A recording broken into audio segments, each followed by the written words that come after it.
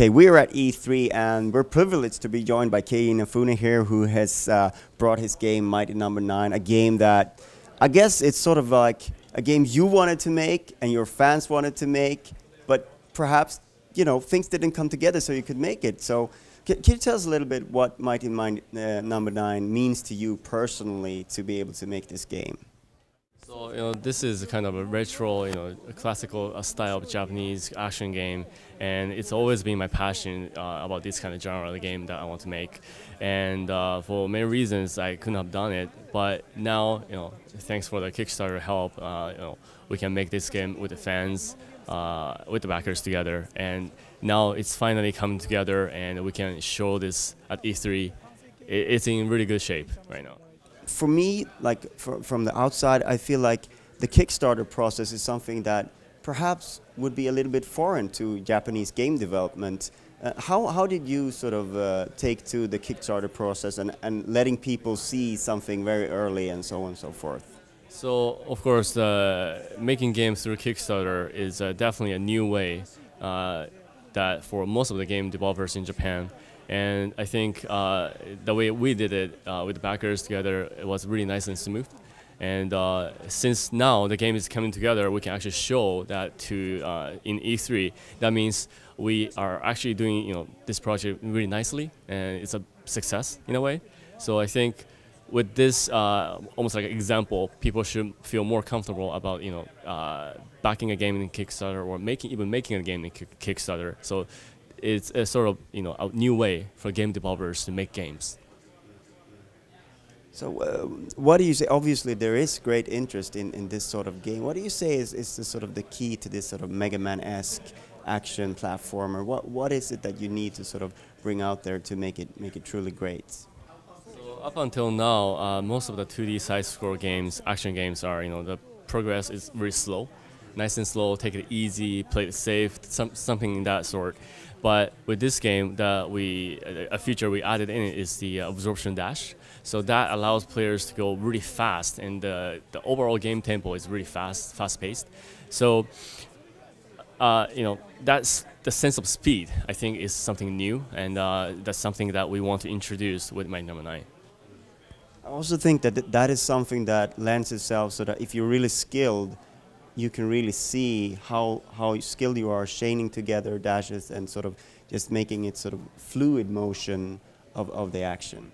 Generally speaking, the players you know who likes to post post their gameplay videos on YouTube, or you know the skill players want to show off. That's the the basic uh, mindset of players who play these kind of games. And uh, with the absorption dash, they can actually really you know, clearly players can clearly see who's good at this game or not. So we actually had that in mind when we were making the game. So I think once this game gets released and people are starting to play on YouTube or Twitch, uh, Twitch, uh, you know, they can really show off with a speed run or uh, you know, 100% absorption rate, uh, combo chains, all that kind of stuff. So you know, that's kind of things that we had in mind and we're aiming for. So uh, it is it is a very sort of so if, if you will, a brave new world for you.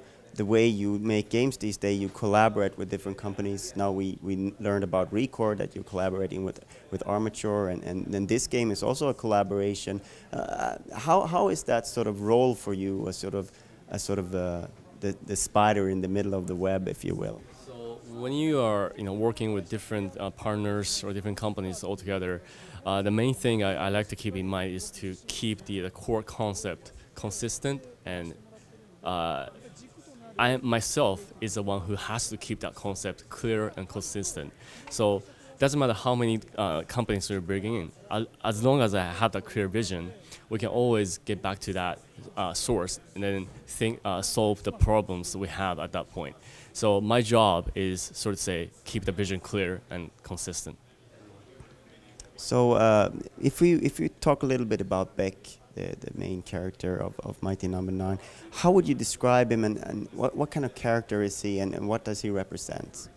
So the Mighty Number no. Nine, uh, actually the uh, Mighty Numbers is actually a, a, full robot combatant team uh, that's competing in a tournament, what we call in the about Colosseum. And you know, Mighty Numbers is one of the strongest team out there. And Beck, the the number nine of the uh, the team, is actually the weak link. So he's the weak, weakest one, and he doesn't really have any special you know moves or ability to shine.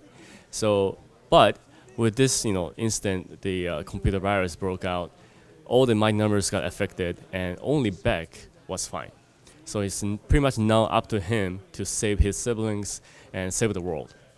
And as Beck go along, he realized his ability is actually something super strong, which is to absorb or scan or copy uh, his opponents or uh, any other robot's ability. So he can learn things from them. He can copy their powers, and that's how Beck is, is growing stronger and stronger. And uh, he, the more he absorbs, he more he learns. He'll become more confident. So it's kind of journey of he Beck growing up to be the strongest robots in Mighty Numbers. So uh, how do you consider Mighty Number now? Uh, now that the game is almost done, it's, it's a little bit left. Is, is this a franchise that you hope to continue on, or, or is this like a one-off to, to sort of celebrate your, your past and, and, and the future? We are definitely thinking to expand the franchise.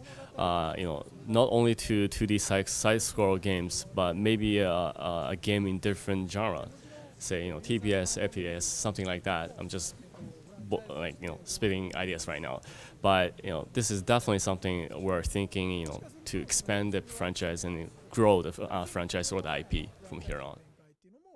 Yes, I would just like to say thank you very much for, for talking to us. It's a pleasure and thank you for all your. Mm, thank you. ありがとうございます。